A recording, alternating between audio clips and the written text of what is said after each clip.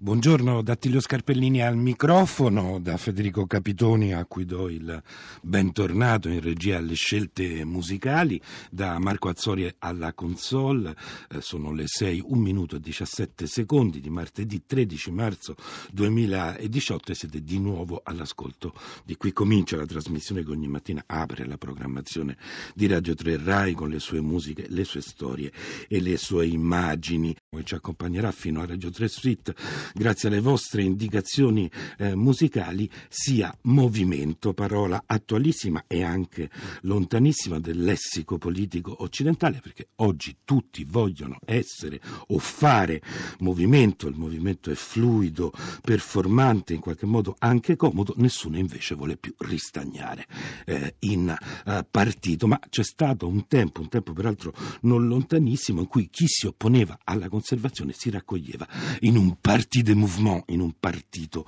del movimento oh, e diciamo esistono movimenti di ogni tipo, non solo politici, prima che i movimenti si cristallizzano, si cristallizzino in una qualche istituzione, diventino anch'essi accademia. Il fotografo di cui parliamo oggi, No Migliori, si è mosso nel Novecento, nella seconda parte del Novecento soprattutto, tra due opposte tendenze, tra due opposti movimenti dell'arte visiva. Da una parte la documentazione e il realismo e dall'altra invece la forma e l'astrazione e questo equilibrio che è anche poi in fondo una doppiezza eh, viene raccontato in un bel libro dallo storico della fotografia Roberto Maggiori che è una monografia edita da Quinlan, uh, Quinlan Nino Migliori 70 anni di fotografia e arti visive noi cominciamo da una fotografia in bianco e nero scattata negli anni 50 nell'Italia del Sud. La nostra però è un'immagine, è l'immagine di un movimento immobile. C'è una porta aperta su un muro con le ante di legno spalancate, c'è un uomo seduto proprio in bilico eh, sull'ingresso, sta seduto di traverso su una, su una sedia impagliata, legge il giornale con la faccia quasi attaccata al foglio e ai lati sulla strada, ognuno davanti eh, ad un'anta, siedono due vecchi, uno con il cappello a falde larghe, calato sugli occhi, guarda verso l'obiettivo con grave perplessità, l'altro invece di profilo è impassibile, con le mani giunte sta ruminando chissà quali pensieri. L'aria è quella di un'osteria dove gli anziani del paese trascorrono pigramente la giornata, ma sull'arco della porta uh, c'è un'insegna bianca con una scritta nera in stampatello e la scritta dice Partito Socialista Italiano, poi più in piccolo sezione di barile e proprio per non sbagliarsi ai due lati dell'insegna quasi perpendicolari sulla testa dei due vecchi seduti spiccano i simboli del partito, la falce e il martello sul libro aperto. Ecco, Barile lo siamo andati a cercare, è un comune in provincia di Potenza dove si parla l'Albrecht, la lingua della comunità greco-albanese. L'anno della fotografia è il lontano 1956 e la sonnolenza che pervade l'immagine eh, è politicamente del tutto ingiustificata complicata perché quello è l'annus terribilis della crisi di Suez e dell'ottobre uh, ungherese, ma a dispetto delle falci e martello, Barile o Barilli, come lo chiamano gli Albrecht, eh, è lontano dalla storia e lo era ieri quanto lo è oggi. Questa fotografia realizzata da Nino Migliori spunta da un bel libro, un libro di Roberto Maggiori dedicato ai 70 anni di sperimentazione nella fotografia e nelle arti visive di questo artista bolognese bolognese che, pur non essendo mai stato un reporter, un fotogiornalista, sapeva come raccontare con la macchina fotografica. Ecco, guardandola bene se ne percepiscono oh, le simmetrie estremamente precise e anche la teatralità. Nell'inquadratura, infatti, c'è un'altra inquadratura che è formata dall'ingresso del locale e a sua volta all'interno c'è un'altra ancora perché appeso alla parete di quella che continua a sembrare un'osteria, mentre una sezione del PSI c'è uno specchio rettangolare ed davanti allo specchio la sagoma di un gallo che potrebbe e non potrebbe essere vero, cioè vivo, ma il dato più invincibile oggi è la malinconia che emana da quella scritta che sembra già vecchia nel 1956, nessun simbolo, nessun segno, nessuna intestazione infatti delle antiche o vecchie culture politiche della prima Repubblica sono sopravvissute nella terza e non soltanto quelle legate alla parola ottocentesca socialismo. Ecco, chissà per chi ha votato il 4 marzo scorso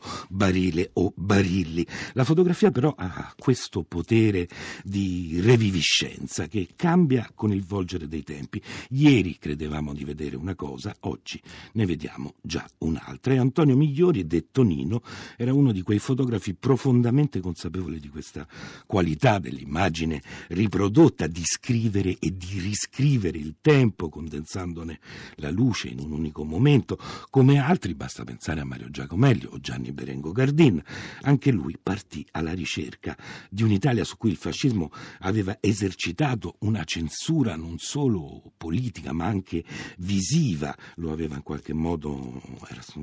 aveva in qualche modo nascosto il paese, aveva fatto vedere solo quello che si doveva vedere e appunto anche Migliori seguì la pista neorealista, la pista del viaggio o nel paese profondo del viaggio in Italia, ma diversamente da altri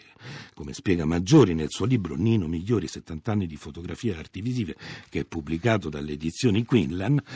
l'esplorazione tra le genti del paese, gente del sud, gente del delta, gente dell'Emilia, sono i titoli dei suoi dei libri di immagini eh, di Nino Migliori, per il fotografo bolognese fu l'occasione ulteriore per continuare a sperimentare quel rinnovamento del linguaggio fotografico che dal 1948 fino ad oggi praticamente non si è mai interrotto. Ecco, basta girare, eh, basta sfogliare il libro e ci si imbatte in immagini ben diverse, ad esempio in una delle sue ossidazioni che è datata 1953 o nei suoi idrogrammi l'anno del 1952 e sono foto astratte, materiche che hanno una visibile parentela con i quadri degli artisti informali come Emilio Vedova. Ecco, il fotografo che nei muri di manifesti strappati vede delle composizioni policrome, eh, degne dell'espressionismo astratto, l'artista che incide la lastra della Polaroid prima che si impressioni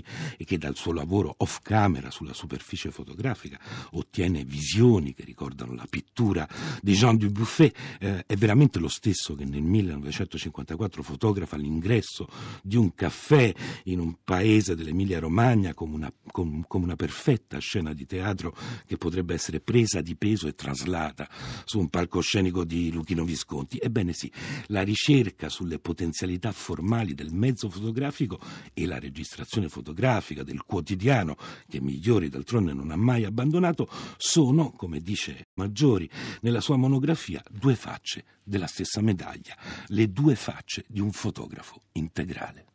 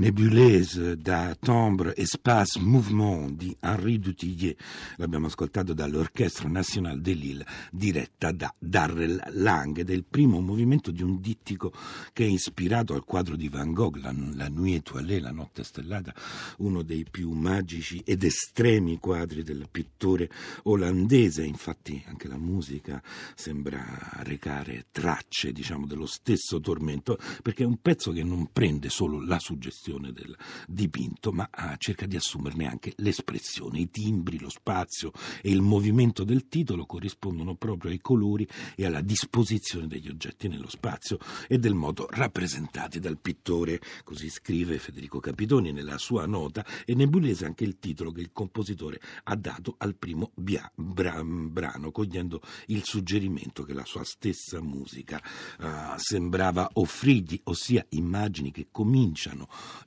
lentamente a intravedersi nella foschia notturna. E oggi parliamo di immagini, parliamo di Nino Migliori che è un po' il decano della fotografia italiana e della monografia che gli ha dedicato Roberto Maggiori, 70 anni di fotografia e arti visive pubblicata dall'editrice Quillan. E in questa monografia uh,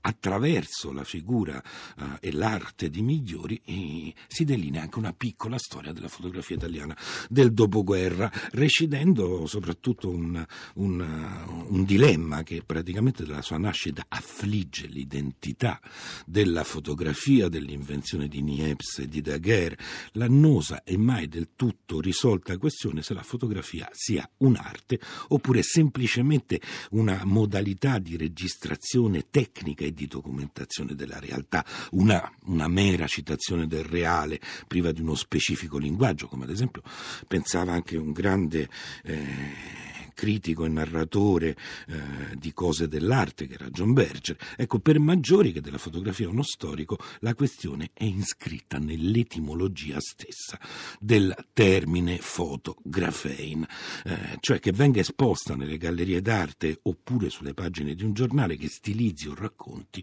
la fotografia è sempre e comunque una forma di scrittura, una scrittura della luce e attraverso la luce. La luce, come diceva Walker Evans, fotografo americano che peraltro fu il primo a essere esposto in un museo al MoMA di New York, eh, la luce è quasi la fotografia. Eh, e forse proprio per questo attaccamento eh, alla luce che eh, al culmine delle sperimentazioni di Nino Migliori ci sono dei lavori che utilizzano oh, la luce della candela, che tornano alla luce della candela, per rivelare, per rivedere alcuni storici monumenti dell'arte italiana, soprattutto scultoria, come il compianto di Nicolò della dell'Arca a Bologna. Proprio venerdì scorso abbiamo parlato di questo straordinario artista quattrocentesco, le metope, i leoni stilofori del Duomo di Modena, l'Ilaria del Carretto di Jacopo della Quercia a Lucca eh, ed alcuni altri, tutti lavori rubricati sotto la voce Lumen e che affondano la loro oh, ispirazione nelle ricerche, nello,